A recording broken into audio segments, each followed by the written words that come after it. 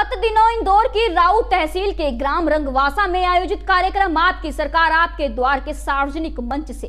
उच्च शिक्षा एवं खेल मंत्री द्वारा पटवारियों को 100 फ़ीसदी रिश्वत लेने वाले बताने के लिए बयान के विरोध में मध्य प्रदेश पटवारी संघ जिला खरगोन द्वारा सोमवार को जिला मुख्यालय से एक रैली निकाली और जमकर नारेबाजी करते हुए जिला कलेक्ट्रेट कार्यालय पहुँचे और अपर कलेक्ट्रेट को मुख्यमंत्री के नाम ज्ञापन सौंपा गया।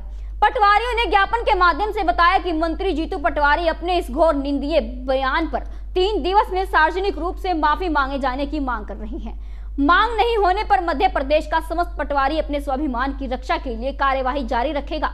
जितेंद्र पटवारी, खरगोन पटवारी संघ के जिला अध्यक्ष ने बताया कि मंत्री जी माफ़ी नहीं मांगते हैं। पटवारियों से तो आगे भी हमारे द्वारा कार्यवाही की जाएगी। ये अभी विगत दिनों में माननीय उच्च शिक्षा मंत्री जीतू पटवारी जी के द्वारा राउ तहसील में मंच से समस्त मध्य प्रदेश के पटवारियों को 100 प्रतिशत भ्रष्ट बताया उनके मंच से। ऐसे बयान के विरोध में हम लोग आज यहाँ पर ज्ञापन देने आए हैं। तो और हमने अभी तीन दिन का अवकाश लिया है।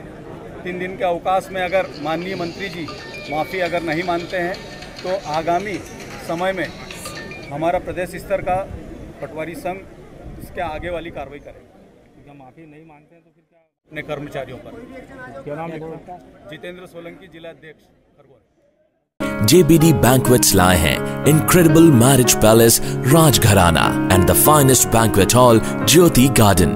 World class catering, centrally air conditioned, lush green lawns, state of the art lighting. A perfect venue for wedding, launching and parties. Rajgharana and Jyoti Garden at JBD Banquets Enterprise.